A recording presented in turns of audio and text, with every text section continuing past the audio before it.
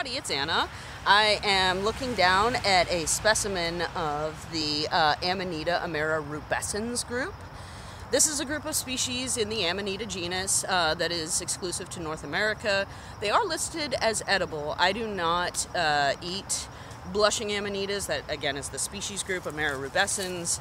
Um, so you're going to have to look to other sources for that. But I do love to find them because uh, like a lot of amanita mushrooms, they're very um, special, they're really beautiful, and they have a couple of distinguishing characteristics that, in my opinion, are really winning. So, um, I have gone through, I think, six mushroom knives this season. Uh, so I am down to like this spork thing that I uh, I don't even remember when I got it, but I have actually discovered this might be my new favorite mushroom tool uh, because it makes it really easy to lever out my specimens. So I suppose I've uh, uh, gained a new appreciation for the ridiculous things that uh, I bought for myself when I was an early 20-something. Anyway, so here is uh, the specimen, a specimen of uh, Amerirubescens. There's actually two uh, mushrooms here that looks like they were conjoined. Um, so this is a very, very common uh, variety of mushroom. Like a lot of other, you know, species and species groups, identifying them and distinguishing them in the field can be extraordinarily difficult. So I usually just say Amanita Amerirubescens group. It's a blusher, and I'm satisfied with that, especially considering that I don't eat them. Anyway, um, like other amanitas, they are a classic cap and stem mushroom. Um, they also have um, a base that is enlarged. Um, one of the distinguishing characteristics of uh, the Amanita genus is that they come up in sort of a baby protective uh, layer of tissue, and that leaves some sort of um, clump of tissue at the base, or uh, sometimes just an enlargement. And in the in the case of Amerirubescens, it's you know not all that distinct. So you're kind of relying on other features to narrow it down to uh, Amanita specifically. So it does have this uh, enlarged base, and sometimes you'll see sort of remains of um, uh, tissue around the base of the mushroom itself.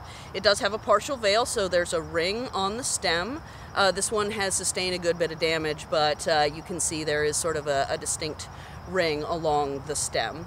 When the mushroom comes up, it's kind of um, pallid, uh, but as it is, um, you know, affected by environmental conditions or rained on, it does what it gets its common name from. It starts blushing. So, you know, when this mushroom came up, it was kind of a whitish tan, most likely.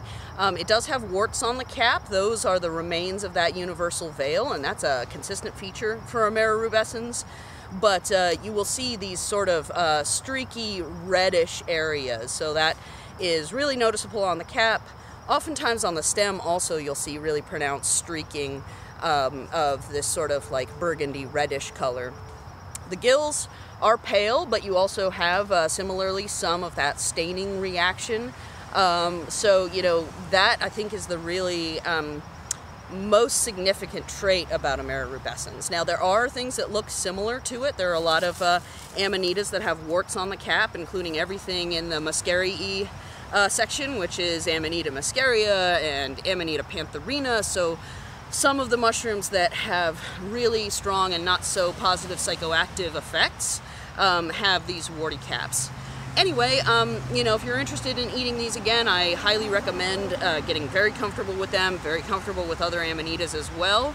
Uh, but for my purposes, I just love seeing them because they're kind of cute and uh, I like seeing the sort of erratic streaking patterns on them because anytime a mushroom kind of has its own individual destiny as a fruiting body, I am usually super pumped about that. Anyway, Amanita Amerirubescens group is traveling off and to the right.